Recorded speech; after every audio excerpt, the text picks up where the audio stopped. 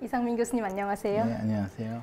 먼저 첫 번째 질문을 드려보면 교수님 어떻게 빛 전문가가 되셨나요? 어, 제가 어렸을 때 보면 많은 분들이 마찬가지게 좀 별, 별 보는 걸 되게 좋아했습니다. 특히 이제 시골 같은 데 가면 누워가지고 별을 보면 막 별이 쏟아지잖아요. 그러면서 이제 빛을 좋아하게 됐고 이런 노래 혹시 박 박사님도 아실지 모르겠지만 작은 별 가족의 나의 작은 꿈이라는 노래가 있는데요.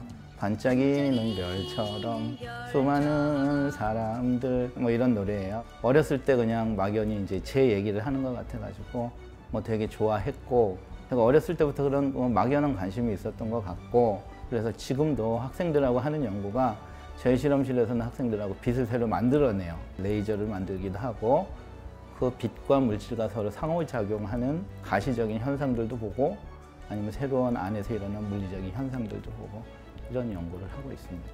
교수님에게 빛 같은 존재는 어떤 거죠? 어, 저는 이제 빛 같은 존재인 분이 계세요. 계신데 저는 어렸을 때부터 이제 어, 독일 가가지고 이제 학교를 다녔었는데 처음 독일 가서 만난 분이 독일어 담임 선생님이셨는데 그래서 그분이 반가워해도 거의 몇 년 동안 하루도 빼놓지 않고 독일어도 가르쳐 주시고 다른 음, 문제에서도 빛 같은 존재셨죠.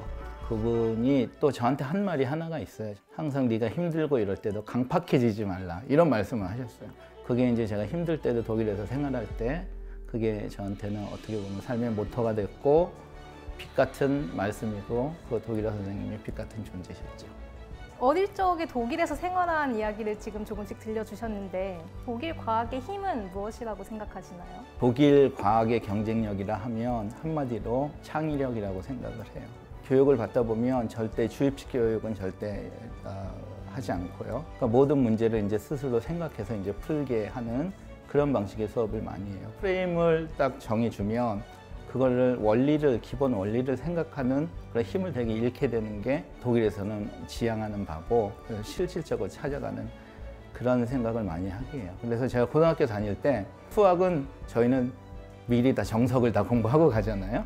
그러니까 수학 시간만 되면 이렇게 손들면 가가 시키면 앞에서 공식 알고 다 이렇게 푸는 거. 그래가지고 너무 뿌듯했죠. 근데 그 시절에 우리 학생들, 어떤 친구들의 시험지를 보면 뭐 엉망이었어요. 그래서 속으로는 약간 자만한 마음도 있죠. 얘네 수업 진짜 못한다.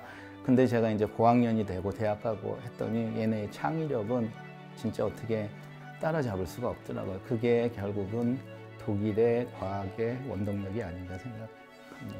연구가 재미가 없거나 그만두고 싶으신 순간이 있으신가요?